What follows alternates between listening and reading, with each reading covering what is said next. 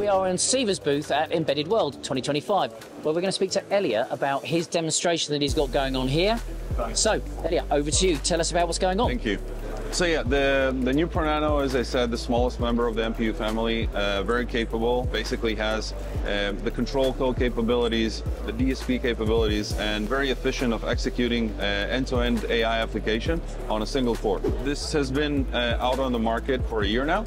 It's already uh, ready to license, and uh, really happy to see uh, the traction about it from various customers.